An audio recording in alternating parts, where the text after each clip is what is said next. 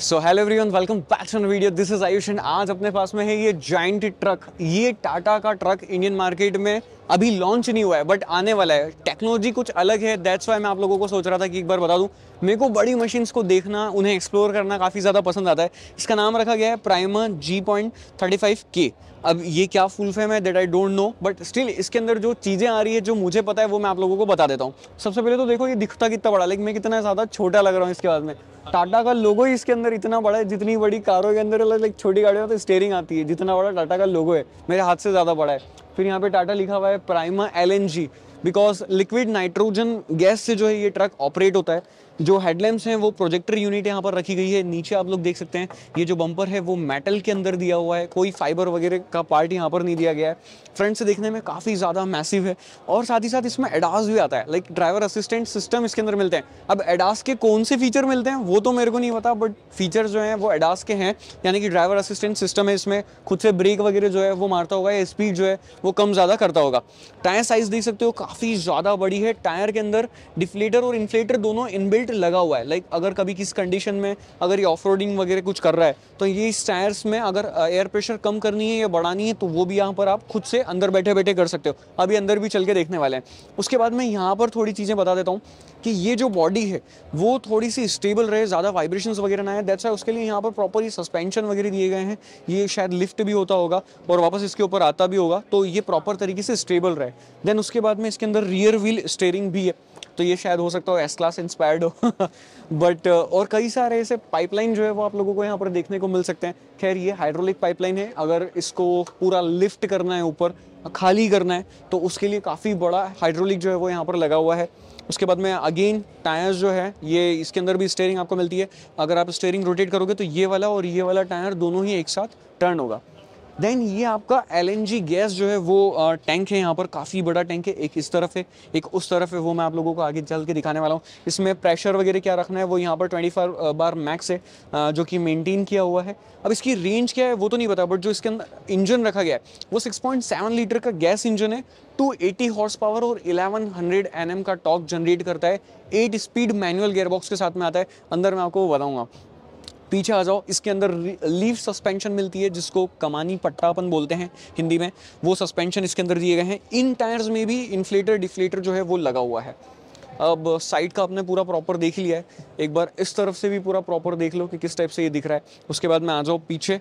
और पीछे क्या कुछ चीज़ें हैं? तो अगेन जो बेसिक लाइट्स होती हैं बैक लाइट्स होती हैं, वो सारी चीज़ें यहाँ पर कैमरा भी मुझे दिखाई दे रहा है लिटरली ट्रक के अंदर कैमरा है। तो लाइक रिवर्स पार्किंग असिस्टेंस जो सिस्टम है, वो भी आप लोगों को यहाँ पर मिल जाते हैं। दैट्स ऑल इस तरफ़ भी आप लोगों को जो है वो टैंक मिलता है एलएनजी टैंक यहाँ पर दिया गया है और काफ़ी बड़ी बॉडी है। इसको आप कस्टमाइज भी करवा सकते हो अपने अकॉर्डिंगली जिस टाइम पे ये लॉन्च होगा। तो ये सारी इसकी रिलेटेड चीज़ें जो है वो सामने निकल के आएगी। अभी फ़िलहाल चलते हैं और देखते हैं कि जो इसका कैबिन है उस केबिन में क्या कुछ फीचर्स जो है वो आप लोगों को मिलते हैं? ये गेट देखो। कितना बड़ा ये गेट ओपन हो रहा है। अब यहाँ से तो मैं नहीं चढ़ रहा, मैं उस तरफ़ से चढ़ता हूँ और चढ़ना ही अपने आप में बहुत बड़े ट्रिक है। यहाँ पर एक हैंडल है, फिर उसके बाद में वो ऊपर हैंडल है। उन हैंडल्स को और ये स्टेप्स को जो है वो फॉलो करते हुए आपको अंदर चढ़ना है। तो आप चढ़ो इस तरफ़ से, मैं चढ़ता हूँ उस तरफ़ से। गजब!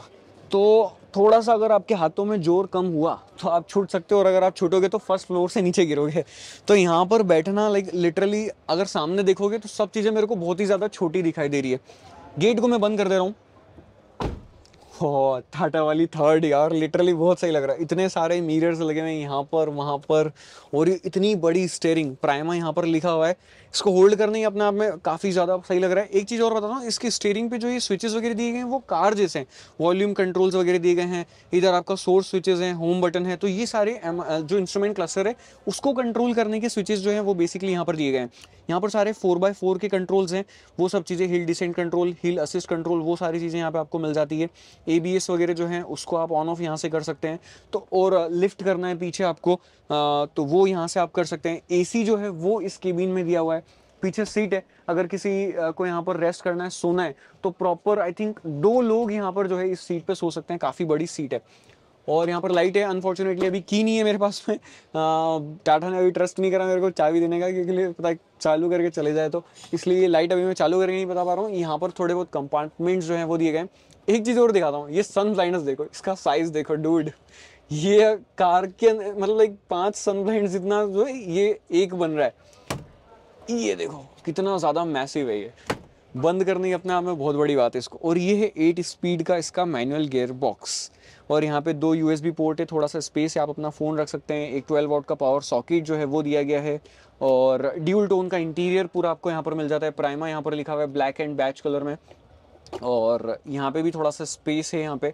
और ऊपर ये एसी के वेंट्स दिए गए हैं। उधर भी आपको ग्लव बॉक्स मिलता है छोटा सा जिसमें कुछ रखना चाहें तो आप रख सकते हैं।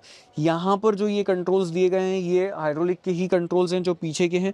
उसके बाद में लाइट्स के कुछ कंट्रोल्स दिए गए हैं। दैट्स ऑल और एसओएस स्विच भी इसमें है। अगर आपको कभी इन केस ऑफ़ एक्सीडेंट या कुछ होता है तो आप हेल्प स्विच प्रेस करके कनेक्ट रहेंगे टाटा से। तो कनेक्टेड फीचर्स भी इसके अंदर कुछ इस टाइप से हेल्प से रिलेटेड या एक्सीडेंट से रिलेटेड जो है, वो मिलने वाले हैं। तो ये सभी चीज़ें हैं और इसकी सीट जो है, उसके ऊपर भी सस्पेंशन मुझे मिल जाते हैं।